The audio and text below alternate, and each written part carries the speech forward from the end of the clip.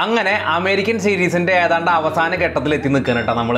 ഇന്നത്തെ വീഡിയോയിൽ നമ്മൾ കാണിക്കാൻ പോണത് ഡിസ്നി ലാൻഡും പിന്നെ ഞങ്ങൾ എല്ലാവരും കൂടെ അവിടുത്തെ ഒരു സ്ട്രീറ്റ് ഫുഡ് കഴിക്കാൻ പോയതും പിന്നെ ഏറ്റവും അവസാനത്തെ ദിവസം ഞങ്ങൾ എല്ലാവരും കൂടെ ഒരു ബാബക്കി ഉണ്ടാക്കിയിട്ട് പിരിഞ്ഞതൊക്കെയാണ് ഇന്നത്തെ വീഡിയോ. പെട്ടെന്ന് നമുക്ക് വീഡിയോയിലേക്ക് പോവാം. റെഡി റെഡി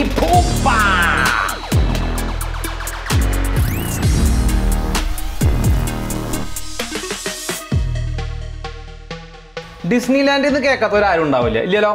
ഇനിയിപ്പോ അഥവാ ഡിസ്നി ലാൻഡ് എന്ന് കേട്ടിട്ടില്ലെങ്കിൽ വോൾട്ട് ഡിസ്നി എന്ന് കേൾക്കാത്തവരുണ്ടാ? ഇനി അതും കേട്ടിട്ടില്ലെങ്കിൽ മിക്കി മൗസ് എന്ന് കേൾക്കാത്തവർ ആരും ഉണ്ടാവില്ല. അല്ലെ മിക്കി മൗസിനെ നമുക്ക് എല്ലാവർക്കും അറിയാം. അപ്പൊ നമ്മൾ ഇന്ന് കാണാൻ പോണത് ഡിസ്നി ലാൻഡ് ആണ് നമ്മുടെ ബാബങ്ങളുടെ വീടിന്റെ തൊട്ടടുത്താണ് ഡിസ്നി ലാൻഡ് ഉള്ളത്. നമ്മൾ പറയില്ലേ എന്റെ കൂട്ടുകാരന്റെ തൊട്ടടുത്താണ് മോഹൻലാലിന്റെ വീട് എന്ന് പറയില്ലേ? അങ്ങനെ നമ്മുടെ ബാബങ്ങളുടെ തൊട്ടടുത്താണ് ഡിസ്നി ലാൻഡ് ഇവിടെ നിന്ന് പോകാനായിട്ട് ഒരു വണ്ടി ഉണ്ട് കേട്ടോ. കൊള്ളാം. നല്ല വലിയൊരു ട്രെയിൻ പോവാ.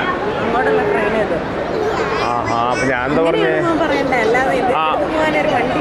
വണ്ടി എന്നാ നീ ഒന്ന് പറഞ്ഞ എന്റെ എന്റെ വ്ളോഗിങ് പോരാ നീ ഒന്ന് പറഞ്ഞ കേക്കട്ടെ? പറ എന്താന്ന്? നമ്മളെ ഇവിടുന്ന് കൊണ്ടുപോകാനായിട്ട് ഡിസ്നിലാൻഡിലേക്ക് കൊണ്ടുപോകാനായിട്ടൊരു വണ്ടി ഉണ്ട്. മമ്മൂട്ടിയുടെ ക്ലാസ് ആണല്ലോ. നിങ്ങൾക്ക് എല്ലാവർക്കും അറിയായിരിക്കും ലോകത്തിലെ പഴക്കം ചെന്നതും ഒരുപാട് വലുപ്പമുള്ളതായിട്ടുള്ള ഒരു തീം പാർക്കാണ് ഡിസ്നിലാൻഡ് എന്നുള്ളത്. ഇതിനേക്കാളും പഴക്കമുള്ള ഒരുപാട് പാർക്കുകൾ ഉണ്ട് എങ്കിലും ഏറ്റവും ഫേമസ് ആയിട്ടുള്ളതും ഇപ്പോഴും അതുപോലെ തന്നെ റൺ ചെയ്തു പോകുന്നതായിട്ടുള്ള പാർക്കാണ് ഡിസ്നിലാൻഡ് മൊത്തം ആറ് ഡിസ്നിലാൻഡാണ് ആണുള്ളത്. യു എസ് എയിൽ തന്നെ രണ്ടെണ്ണം ഉണ്ട്. ഒരെണ്ണം കാലിഫോർണിയയിലും ഒരെണ്ണം ഫ്ലോറിഡയിലും. പിന്നെയുള്ളത് പാരീസിലെ ടോക്കിയോയിൽ ഷാങ്ഹായിൽ പിന്നെ ഹോങ്കോങ്ങിൽ.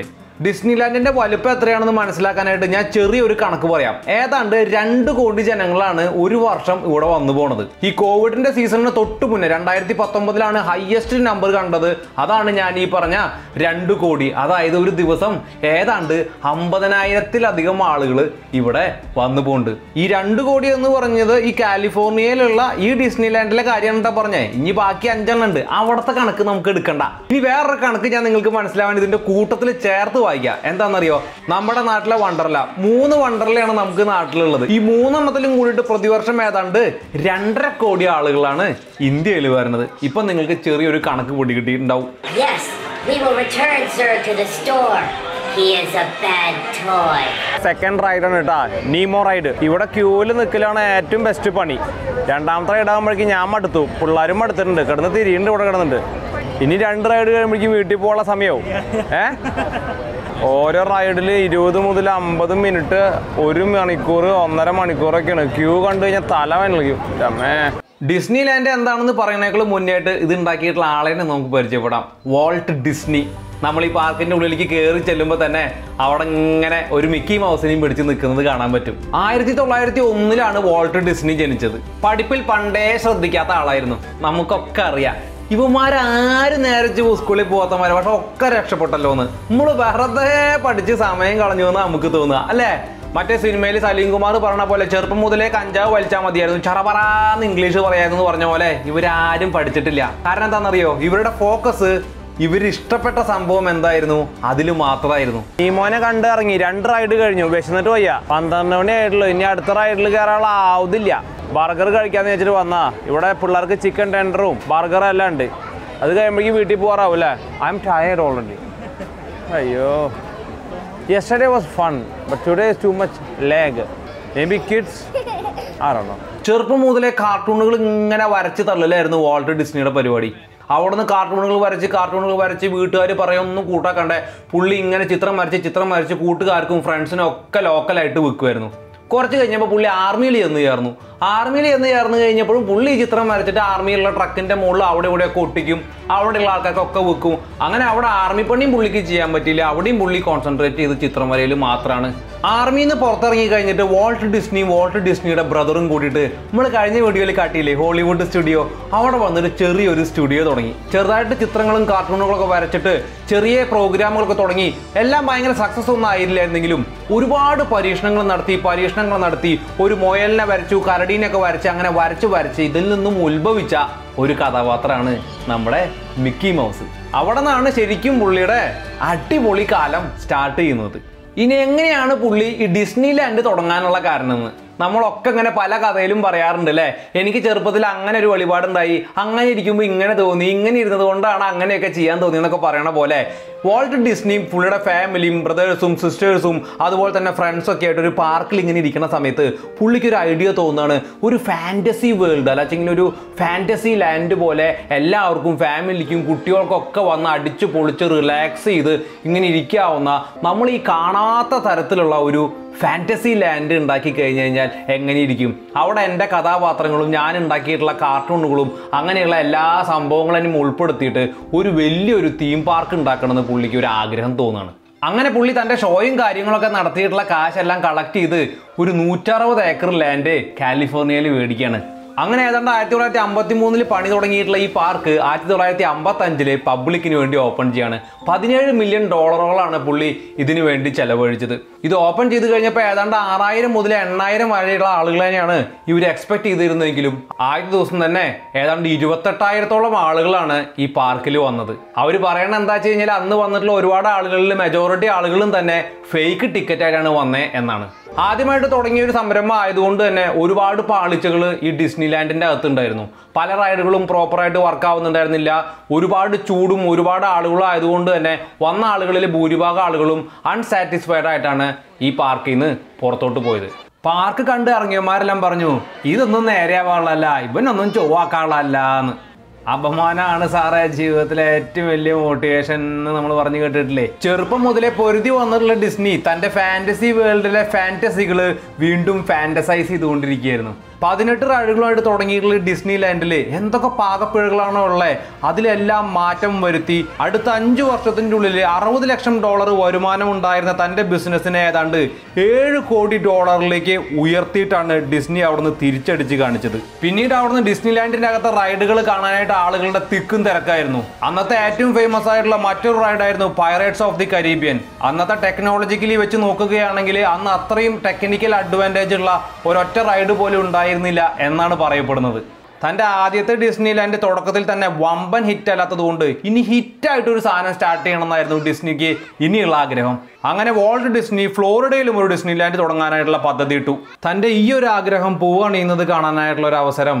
ഡിസ്നിക്ക് ഉണ്ടായില്ല എന്ന് വേണം പറയാനായിട്ട്. ഇടവഴിയിൽ വെച്ച് മരണം ഒരു ലങ് ക്യാൻസറിന്റെ രൂപത്തിൽ വാൾട്ട് ഡിസ്നിയെ ഈ ലോകത്തിൽ നിന്നും കൊണ്ടുപോയി.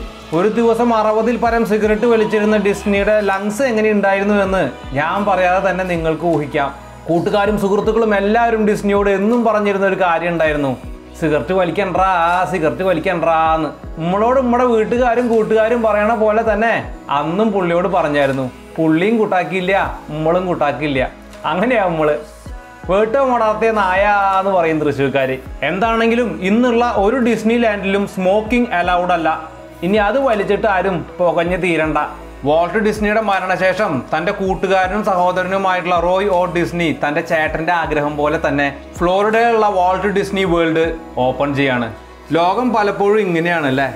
ചില ആളുകളുടെ കണ്ടുപിടുത്തങ്ങൾ ചില ആളുകളുടെ ആഗ്രഹങ്ങൾ ചില ആളുകളുടെ സന്തോഷങ്ങൾ ബൾബ് കണ്ടെത്തിയവനും എക്സ്റേ കണ്ടെത്തിയവനും വാക്സിൻ കണ്ടെത്തിയവനും ഇങ്ങനെ നമ്മുടെ ജീവിതത്തിൽ ഇന്ന് സ്പർശിച്ചു പോകുന്ന പല കണ്ടുപിടുത്തങ്ങൾ നടത്തിയവരൊന്നും ഇന്ന് ഒരു ഭിത്തിയിലും കാണപ്പെടാറില്ല.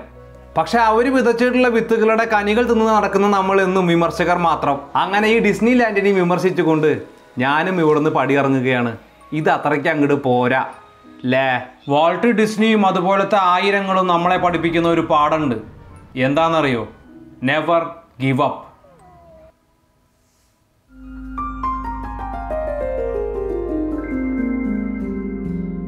സ്പാനിഷിൽ മുള്ളിത്താസ് എന്ന് പറഞ്ഞാ പറയാ ടാക്കോസിനെ പാസ്റ്ററിനെ പോർക്ക് എന്ന് പറയണേ. ഇവിടെ ബോട്ടി വെച്ചിട്ടുണ്ട്.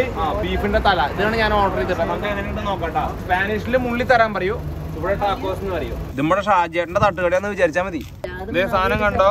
അസാദ പാസ്റ്റർ കബസാന സ്ട്രൈപ്പ് ചിക്കൻ എവറിത്തിങ് ഇൻ ഹിയർ ഓ കാണുന്ന നല്ല നല്ല ഭംഗിയുണ്ട്. ഒരു പ്ലാറ്റർ ഓ ദേ ബോട്ടിട്ടോ. തല. ദേ തലയുടെ ചെവി. എന്തൊക്കെയോ ഇതിനകത്തുണ്ട്. കഴിച്ചോട്ടെ. കൊള്ളാം പരിപാടിയുടെ കൊള്ളാട്ടാ. സാധനം എനിക്ക് ഇഷ്ടപ്പെട്ടു നല്ല ഫ്രഷ് ഒക്കെ വരുന്നുണ്ട്. ഞാൻ നിന്നെ റെസ്റ്റോറന്റിലേക്ക് കൊണ്ടുപോകേണ്ടി കൊണ്ടുപോകുന്നതായിരുന്നു അതെ. ഭയങ്കര അടിപൊളി. ഓ, നല്ല ടേസ്റ്റ് കേട്ടോ എനിക്ക് പശുവിന്റെ തലേ കിട്ടി. നല്ല സൂപ്പർ ആയിട്ടുണ്ട് കേട്ടോ ഇത് ഞാൻ എനിക്ക് ഇനി കുറെ വീഡിയോ ചെയ്യാണ്ട് അത് ഞാൻ അവിടെ ചെന്നിട്ടുണ്ടെങ്കിലേ മാരിനേഷൻ ഭയങ്കര അടിപൊളി. ഇത് നോക്കിയേ. എല്ലാത്തിനും ഡിഫറെന്റ് ഡിഫറെന്റ് ഫ്ലേവർ ആട്ടോ. ഒരെണ്ണം സ്പൈസി ഒരെണ്ണം നല്ല മസാല ഇട്ടിട്ടുള്ളത് ഒരെണ്ണം എരിവുള്ളത്. ഞാൻ ഇവർ തന്നിട്ടുള്ള ഒരു സോസും ചേർത്തിട്ടില്ല. പക്ഷെ ഇത് ഇട്ടാൽ അടിപൊളി. അമേരിക്കയിൽ വന്നിട്ട് ഏറ്റവും സൂപ്പർ ഫുഡ് കഴിച്ചത് ഈ റോട്ടിനാണ് മതി ഇനി ഗോൾഡേക്ക് കഴിക്കാനുള്ള അവസരം കൊടുക്കാം. അടിപൊളി. ഇവിടെ ന്യൂസിലാൻഡിൽ അല്ല അമേരിക്കയിൽ വന്നിട്ട് ഏറ്റവും ഇഷ്ടപ്പെട്ട ഫുഡ് ഇതല്ലേ?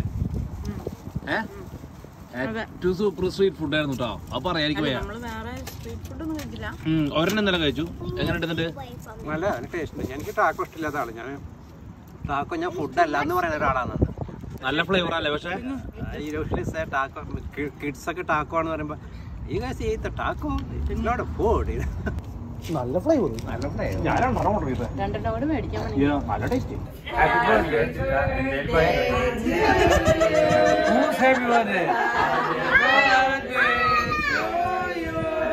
My first year in US. Happy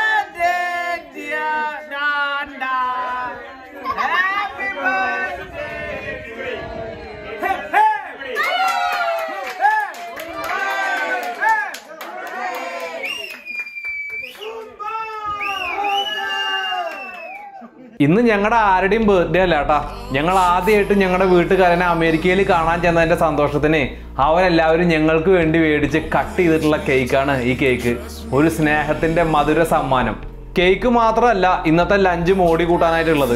നല്ല സൂപ്പറായിട്ട് കനലിൽ വേവിച്ചെടുത്തിട്ടുള്ള ചിക്കനും പോർക്കും സാൽസയും അങ്ങനെ എല്ലാം ചേർത്തിട്ടുള്ള അടിപൊളി ലഞ്ച് ലഞ്ചെല്ലാം ചറപറാന്ന് വാരി തിന്നിട്ട് ഞങ്ങൾ വീട്ടുകാരെല്ലാവരും ഇരുന്ന് കുറച്ച് നേരം സൊറ പറഞ്ഞു.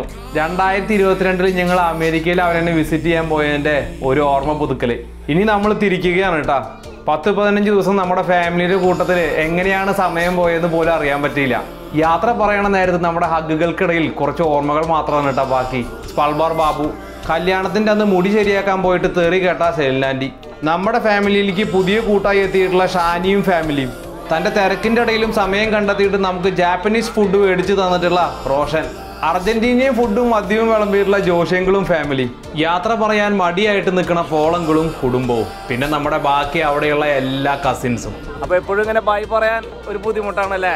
അപ്പോൾ നമ്മൾ പോവാണ്ട യു എസിനോട് വിടാം. ലോസ് ആഞ്ചലസിനോട് വിടാ. നമ്മുടെ എല്ലാ ഫാമിലി സിബ്ലിങ്സ് എല്ലാവരോടും കൂടെ. അപ്പോ അടുത്ത തവണ കാണാം. അതുവരെയും bye for now bye bye പൾവർ Babu പൾവർ പോളു പൾവർ അപ്പു. എല്ലാ പൾവർമാർക്കും bye bye Time, what a time to be alive. Love took us for a ride that we never dreamed.